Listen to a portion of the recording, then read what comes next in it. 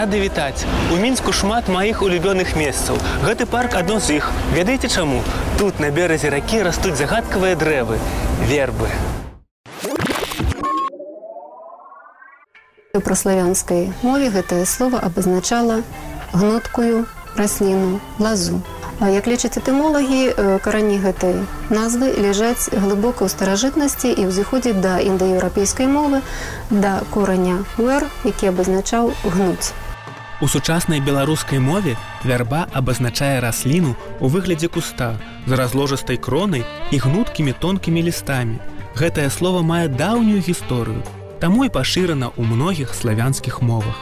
Роднасныя словы да слова вярба знаходзяць этымолагі і ў літоўскай і ў латышскай мове, а таксама ў лацінскай мове, дзе ёсць, напрыклад слова вербена, якое абазначае дубцы лаўра, а вербера гэта дубцы, якімі секлі альбо каралі.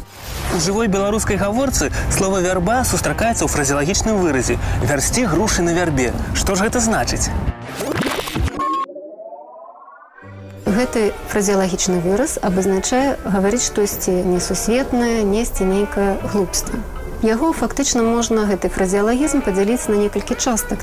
Дзеяслоў вярсці ўжо сам па сабе абазначае гаварыць штосьці непраўдападобнае. Нават ёсць такі выраз вярсці лухту. Грушы на вярбе. Рэч ну зусім незвычайная. Гэты выраз ужываецца для ўзмацнення ступеней неверагоднасці. Ёсць сінонім вельмі распаўсюджаны да фразеалагізма вярсці грушы на вярбе. Гэта смаловы дуб плесці. Акрамя таго ёсць выраз грушы на вярбе растуць. Ну, напрыклад, можна сустрэць выраз все ведаюць гэтага деда, ён вядомы манюка на ўсю ваколіцу, у яго і грушы на вярбе растуць. Прапаную спасцігаць таямніцы беларускай мовы разам. Знайшлі цікавы фразеалагізм, дасылайце свае лісты. Пішыце, аб якіх словах, словазлучэннях вам хацелася б даведацца болей. Усяго добрага, бывайце.